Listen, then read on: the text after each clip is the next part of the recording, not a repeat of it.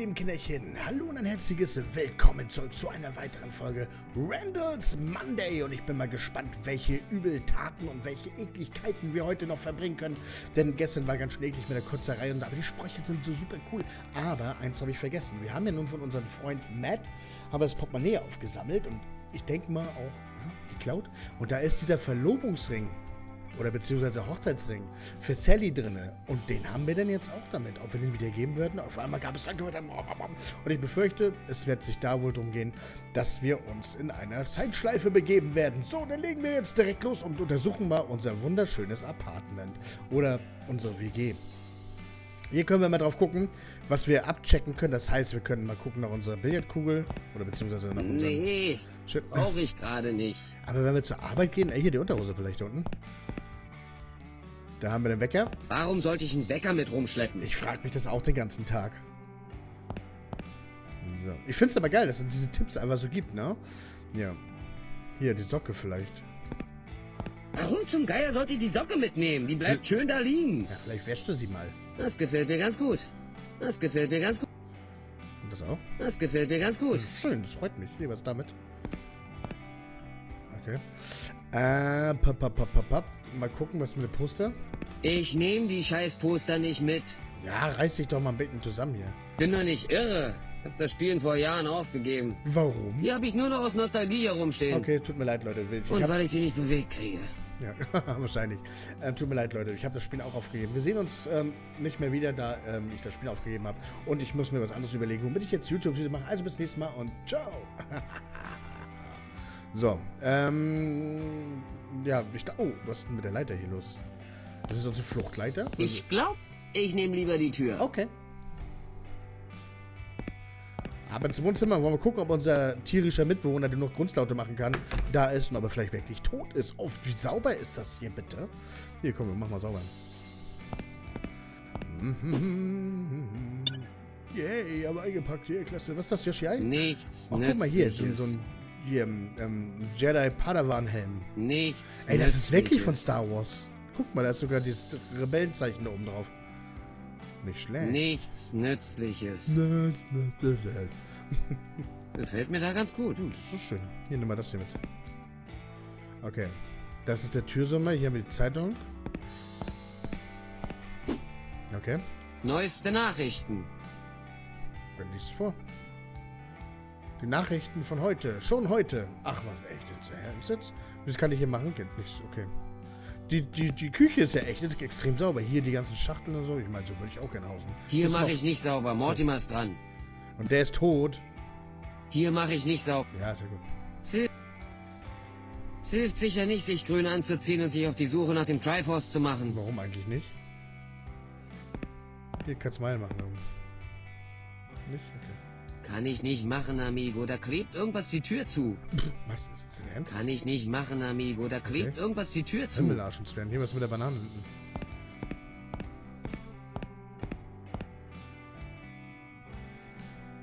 Das können wir doch mal abchecken. Ja, das haben wir schon. Und das hat er schon auch besprochen. Hier was mit Müllhänden. Da gehe ich nicht näher ran. Könnte ich ja irgendwas angreifen. Das ist sein Zimmer. Das ist sein Zimmer. Ich hätte jetzt gedacht, das ist so die, der Vorratsraum, wo man vielleicht Müll lagert oder sowas. Ich weiß keine Ahnung. Ich lage im Vorratsraum eigentlich keinen Müll, aber man weiß ja nie. Ich mach das Fenster nicht. Du machst das Fenster nicht auf, weil wegen was genau? Ich mach das Fenster nicht auf. Da ist nur Lärm draußen. Ja, aber hier stinkt's. Okay. Wir sind mega bewaffnet jetzt auf jeden Fall. Ähm, die Einzelheiten im Bücherregal sind die sehr wirklich so wichtig. Buchstützen. Auf gar keinen Fall. Okay. Die vielleicht? Auf gar kein... Nichts Nützliches. Oh, bist doch ein alter Penner, Randall. Komm, wir hauen ab. Mortimer! Ich gehe zur Arbeit! Oh Gott. Ist das mein Kater? Oder klopft der Tod schon wieder an die Tür? Eher zweiteres. Wer auch immer Sie sind, ich will Sie nur wissen lassen, dass ich die Knarre meines Vaters... Randall Hicks, äh, lass den Scheiß und mach die Tür auf. Mr. Marconi? Bin sicherlich kein Vertreter. Mach die Tür auf. Wahrscheinlich der Vermieter, ha? Der sollte hier vielleicht nicht reingehen. Uh. Oh. Puh. Ich bin froh, dass Sie es sind. Aber machen Sie das bitte nie wieder. Verdammt, Hicks, wovon redest du? Davon, mich so zu erschrecken. Neue Hosen kann ich mir gerade nicht leisten. Mann, Cannelloni. Hast du mich grad Cannelloni genannt? Ach, kommen Sie. Ich hatte eine schreckliche Nacht. Könnte schwören, dass mir jemand die ganze Zeit ins Ohr geflüstert hat, dass ich verflucht bin. Und ich bin fast sicher, dass ich wieder in den Schrank gepisst habe. Ah, weißt du, was für ein Tag heute ist? Ja, oh nein. Wollen Sie etwa das Frettchen aus dem Rohr entfernen? Ich weiß nämlich nicht, ob ich körperlich ertragen kann, Ihnen den ganzen Tag in, okay, den Maurerdekoté zu sehen. Gehen Sie etwa in Rente oder alles Gute zum Vermietertag? Ah, alles Gute zum Vermietertag? Ist das nicht der Tag, an dem Sie von Tür zu Tür ziehen und die Miete senken? Echt witzig. Die Miete, Hicks. Wie immer bist du zu spät dran. Ich sehe mein Geld nicht. Mach doch Ich mal. auch nicht, Mr. Marconi. Aber kommen Sie schon. Bin doch nur ein paar Tage überfällig. Keine große Sache. Du schuldest mir die letzten drei Monate. Oh, da muss es wohl irgendwo Probleme mit dem Papierkram gegeben haben. Verdammte Bürokratie. Ich werde mal mit meinem Finanzberater reden. Ich melde mich bei Ihnen so schnell ich kann. Bitte, Hicks. Du hast so viel mit einem Finanzberater am Hut wie ich mit Ballettschuhen. Lass dir was Besseres einfallen. So wie damals, als ich Sie mit Goldmünzen bezahlen wollte? Das waren golden angemalte Kronkorken. Ich habe drei Wochen gebraucht, um die Farbe von meinen Händen zu kriegen. Äh, Mr. Marconi, ich wollte mit Ihnen reden, aber ich fürchte, Ihnen wird nicht gefallen, was ich zu erzählen habe. Mr. Marconi, ich habe ein Problem. Mr. Marconi, ich wollte ja mit Ihnen reden, aber ich fürchte, Ihnen wird nicht gefallen, was ich zu erzählen habe. Da bin ich sicher. Ich habe das Gefühl, wir driften auseinander. Wovon redest du da? Ich treffe jemand anders. Verstehen Sie das nicht falsch? Ich liebe Sie noch immer und alles. Es ist nur... Ich glaube nicht, dass das mit uns beiden was wird. Okay. Was zur Hölle? Nein, shh, sagen Sie jetzt nichts. Wir beenden das besser jetzt, bevor das Verlangen uns übermannt. Aber halten Sie mich. Nur ein letztes Mal. Gott verdammt, gib mir einfach mein Geld. Mir reicht's. Okay, ich glaube, wir kriegen richtig Probleme, ne? Wir fliegen aus Mr. Marconi, ich habe ein Problem. Du wurdest mit einem Problem geboren. Nein, so war das nicht. Das Ding ist, mein Job macht mich wirklich fertig. Ich werde ausgebeutet. Es kommen immer hunderte von Bestellungen rein, die alle pünktlich und in perfektem Zustand geliefert werden müssen. Und wissen Sie, was das Schlimmste ist? Diese Mir Bösen. egal. Die Kunden. Alles Egoisten. Die sagen nie Danke oder schönen Tag noch. Die behandeln mich wie Dreck, wissen Sie? Als hätte ich keine Gefühle. Die sagen nur Sachen wie, das Paket ist kaputt. Das Paket sollte nicht tropfen. Das ist nicht die Adresse, die Sie suchen. Ist es denn zu viel verlangt, dass Sie einfach unterschreiben und Ihr kaputtes Paket behalten? Randall, Ja, Mr. Marconi? du arbeitest für den schäbigsten Kurierdienst der Stadt. Ach, für Hermes. Und du denkst länger darüber nach, wie du von der Arbeit wegkommst, als du tatsächlich arbeitest. Wow, wow, wow, Mr. Marconi. Das ist aber so nicht ganz richtig. Doch, das ist es. Randall, du bist wie ein Sohn für mich. Weißt du, was das Ach, wie heißt? schön. Wenn wir rummachen, wäre das ins. Ach, scheiße, Freunde, ey. Dass sie bereit sind, mich zu unterstützen, bis ich meinen eigenen Weg finde. Oh mein Gott, wollen sie mir ein Auto sie- Dass ich im nächsten Sonntagsspiel aufgeregt von der Menge und der Team gewinne, in der Hoffnung, dass sie sterben ein bisschen. Dass wir ein Gespräch in Blumen und Bienchen führen. Ähm, ey, was wollte ich sagen? Ich hab's vergessen. Scheiße. Es es passieren so viele Dinge in diesem Spiel einfach. Und das ist echt gut einfach. Das, ist, das ma- das macht das, das hält mich total glücklich, das Spiel. So. Mm, Ja, wenn wir rummachen, wäre das Inzest? Jesus H. Christ. Deine Eltern tun mir leid. Danke, Mr. Marconi. Sie sind wie der Vater, den ich immer wollte. Und den Dieses ich nie Jahr zum hatte. Vatertag mache ich Ihnen eine ganz besondere Karte. Mit Macaroni und Glitzer. Du machst mich fertig, Hicks. Nimm dir lieber ein Beispiel an deinem Mitbewohner Mortimer. Der ist ein echter Arbeiter. Wovon reden Sie da? Der Typ ist seit Monaten nicht aus seinem Zimmer gekommen. Er ist der perfekte Mieter. Er ist ruhig und macht mir nie irgendwelchen Ärger. Alles, was du kannst, ist mir das Leben zur Hölle machen. Ich weiß, Mr. Marconi, keine Megafone mehr nach 10 Uhr, wie versprochen. Und soweit ich weiß, spricht Mortimer nicht mal unsere Sprache. Lass ihn in Ruhe. Versuch lieber selber Das würde ich gerne mal sehen. verantwortungsvoller zu sein, Hicks. Wie wäre das? Fang mal was mit deinem Leben an, Herrgott nochmal. Ja, ja, geht sofort los. Übrigens, Sie sagten, Sie würden mir mein Megafon wiedergeben. Ich will mein Geld. Jetzt! Das Problem ist immer, wir versaufen unser Geld. Das ist das, was ich sagen wollte. Ich glaube, wir versaufen immer unser Geld. Deswegen haben wir kein Geld mehr für die Miete. Ähm. Oh, ja, warum denn eigentlich nicht? Wo Sie Mortimer gerade erwähnen, er sollte Sie bezahlen. Gott! Oh, ich hatte gerade das, was man in Alkoholikerkreisen als Moment der Klarheit bezeichnet. Ich habe meine Hälfte letzte Woche Mortimer gegeben. Das reicht, Hicks. Dein Mitbewohner ist ein vielbeschäftigter Mann, also erspar ihm deine Lügen. Geh da rein und bring das in Ordnung. Ich gehe nicht hier weg, bevor du bezahlt hast. Ähm. Oh.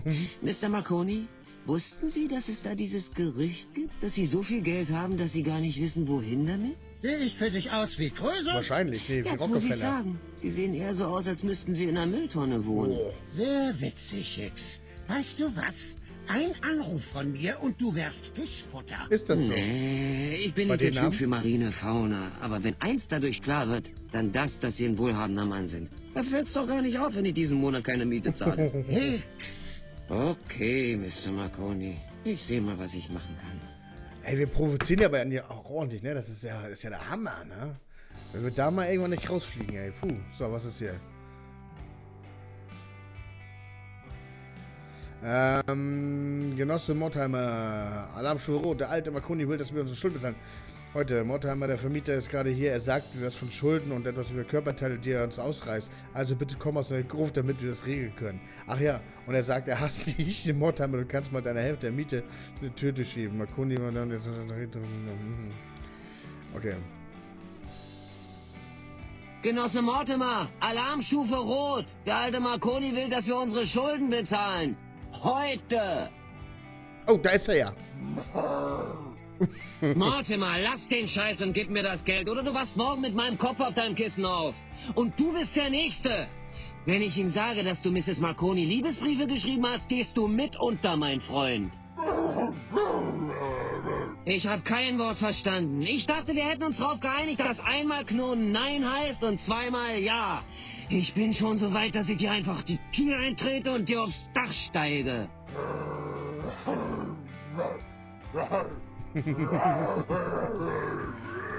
Warte mal. Dreimal Gnom?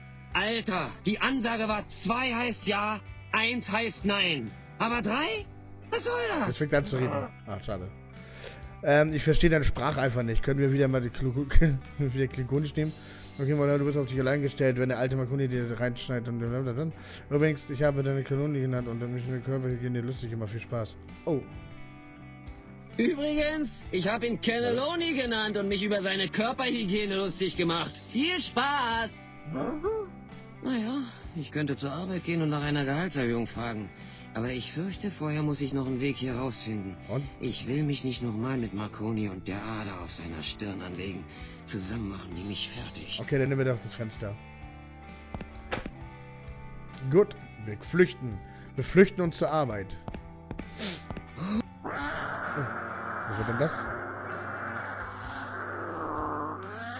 Was ist denn Was das? zur Hölle war das? Kam das von der Feuerleiter? Vielleicht sollten wir nochmal darüber nachdenken. Ernsthaft? Da gehen wir jetzt raus. Ah, Aber so furchteinflößend wie Marconis haarige Ader ist es noch lange nicht, würde Okay. ich wetten.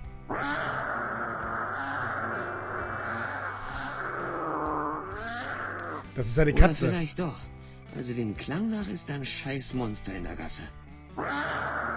Wow, wow, jetzt mal im Ernst. Ich bin relativ zu jung, um zu sterben. Puh, okay, ich sterbe also hier. Aber wenigstens werde ich dem Tod in die Augen sehen und sagen, ich fürchte dich nicht. Ah, okay. Dann mal los. Hallo! Ach, das ist die hässliche Miezekatze. Ach, süß. Oh, all das wegen einer dämlichen, dreckigen Katze. Naja, schon irgendwie peinlich. Wie die Oma da rausguckt Immerhin hat's keiner gesehen, außer der Katze. Und natürlich Mrs. Grozer. Die ist ja süß, die Oma. Was können wir hier machen? Ja, den Haken wegmachen. Können wir, warte mal, die Blümchen. Ein scheiß Blumentopf? Okay. Den soll ich jetzt auch noch mitnehmen? Warum, nee, warum denn? denn? Ich traue mich nicht, sie anzufassen. Was, wenn sie nur ein Geist ist? Ich komm nicht ran. Katze muss weg. Okay. Können wir denn was anderes machen nochmal irgendwie, dass wir hier diesen scheiß Haken... Ich komm nicht ran. Okay, lass mal nach oben gehen nochmal. Haben wir da oben denn irgendwas, was wir... womit wir die Katze füttern können? Oder wir schmeißen einen Müllbeutel einfach auf die Katze rauf? Wozu ich alles bereit bin, ne?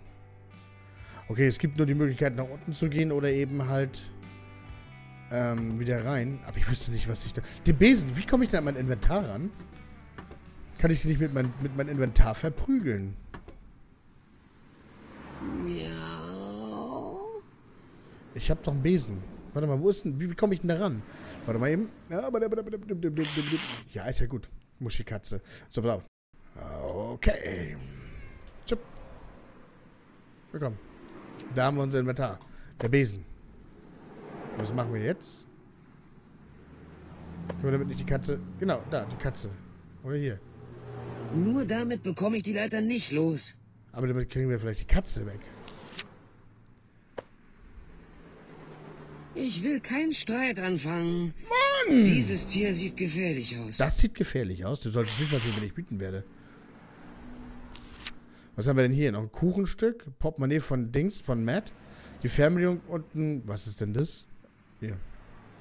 Vielleicht hat die Hunger. Komm hier, Kätzchen, iss was. Das behalte ich lieber. Warum? Okay. Das Portemonnaie, was ist das? Die Fernbedienung. Wieso, wofür ist der Besen denn nützlich, ey, wenn ich damit nicht mal den scheiß Haken lösen kann? Nur damit bekomme ich die Leiter nicht los. Nur damit kann ich Dinge kombinieren, aber ich habe ja keine Möglichkeit. Die Fernbedienung ist auch Blödsinn. Hier ist Speicherdiskette. Warte mal. blablabla. Was ist das? Nix. Okay, was ist das? Ja, Zeitung.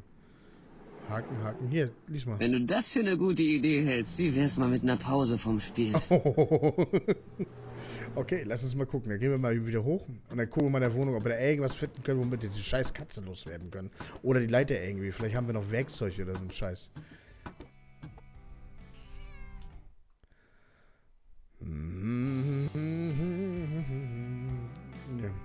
Warte mal. Der Wecker, der Wecker, der Wecker, der Wecker. Vielleicht können wir die Bilderkugel mitnehmen und die Katze mitschmeißen. Nee, brauche ich. Gut, dann raus da. So. Ähm, Pfeile würde ich persönlich auch mitnehmen. Hm, naja, komm, lass mal, was ist das denn? Nichts Nützliches. Na, na, na, na.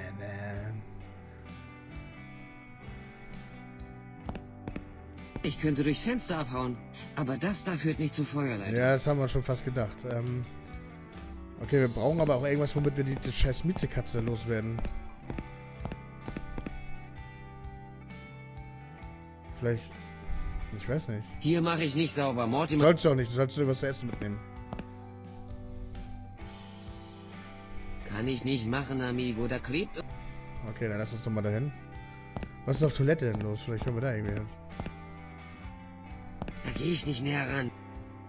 Okay, Badezimmer. Da waren wir noch gar nicht, ne? Oh, das ist aber sehr, sehr groß. Verdammte Axt. Was haben wir denn hier so Feines? Die Kleiderbügel. Geil, das können wir mit einem Besenstiel kombinieren. Hey, man soll kein Wasser versch... Nee, auf gar keinen Fall. Nicht für Hände waschen. Ja, später vielleicht. Okay. Gut. Wie kombi kombiniere ich denn die Sachen? So.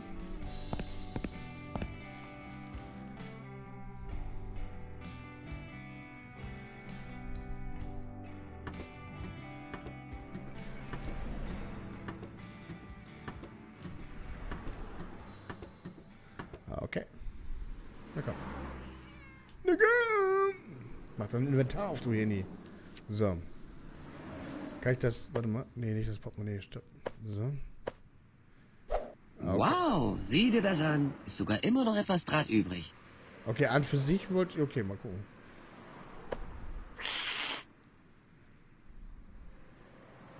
Jetzt fliegt auch die Katze gleich und das kann echt nur witzig werden.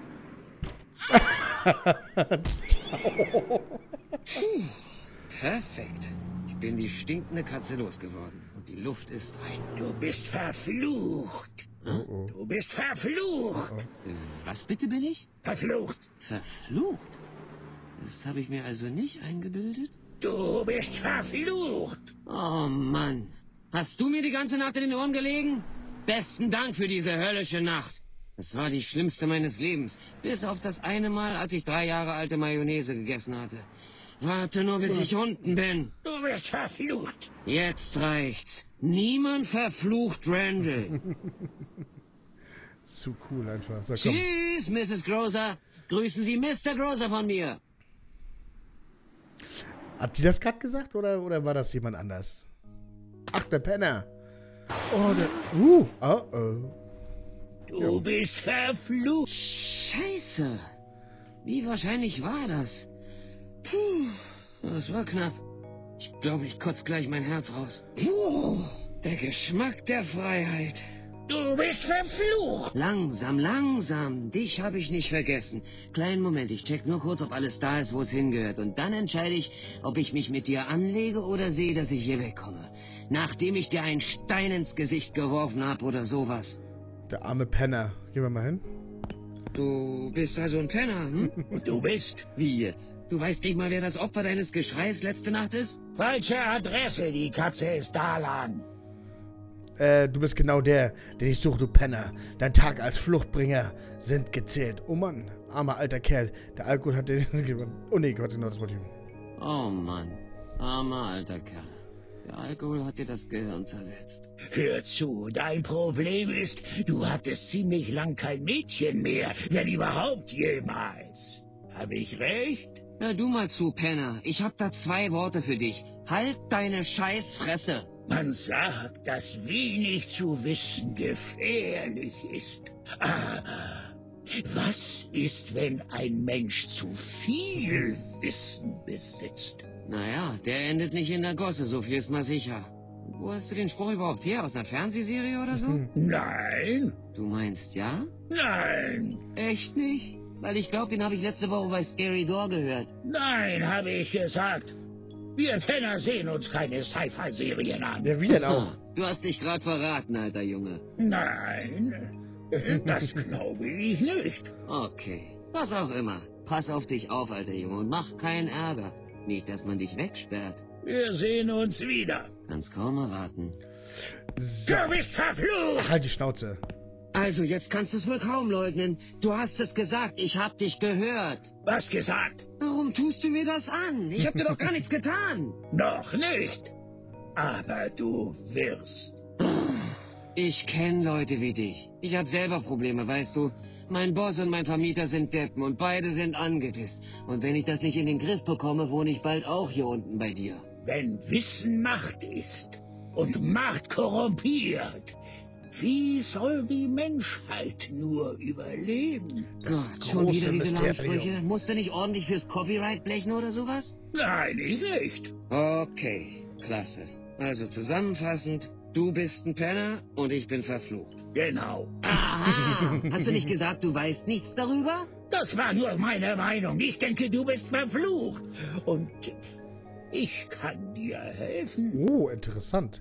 So, meine lieben Kinder, wie wir da rauskommen aus dieser Situation, das sehen wir wahrscheinlich in der nächsten Folge. Haut rein und ähm, ich hoffe, euch hat Spaß gemacht. Bis zum nächsten Mal und tschüss.